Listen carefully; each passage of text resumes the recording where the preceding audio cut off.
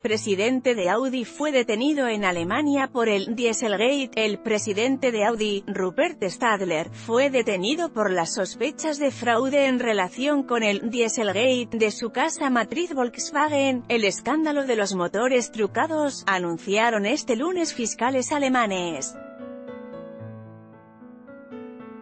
La orden de arresto se basa en encubrimiento de pruebas, dijeron en un comunicado los fiscales de Múnich que ya allanaron la vivienda de Stadler la semana pasada. Tanto Stadler como otro miembro del directorio de Audi fueron acusados de fraude a finales de mayo. Audi confirmó la detención a la FP sin aportar más detalles, recordando únicamente su presunción de inocencia. La Agencia Federal del Automóvil, KBA, ordenó a principios de junio la retirada de unos 60.000 Audi A6 y A7 después de que se descubriera la presencia de un dispositivo ilícito, capaz de falsificar los niveles de emisiones de gases contaminantes. A finales de mayo se llevaron a cabo registros en los domicilios de los dos sospechosos, después de que se hubieran allanado en febrero, marzo y abril los domicilios y lugares de trabajo de responsables de Audi en Alemania, incluida la sede del fabricante en Ingolstadt.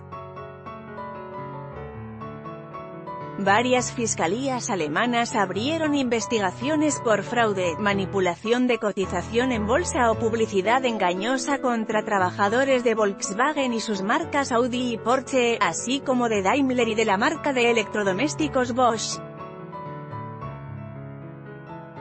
El exdirector ejecutivo de Volkswagen Martin Winterkorn y su sucesor, Martin Mueller, el actual jefe del Consejo de Vigilancia del grupo, Dieter Poetz, y el actual presidente de Volkswagen, Herbert Diess, son objeto de estas investigaciones.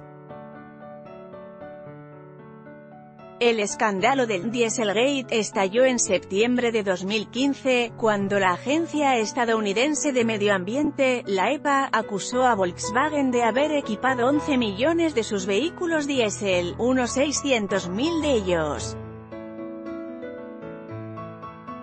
En Estados Unidos con un dispositivo capaz de falsificar el resultado de las pruebas anticontaminación y de disimular emisiones que a veces eran hasta 40 veces superiores a los límites autorizados. Contexto de la noticia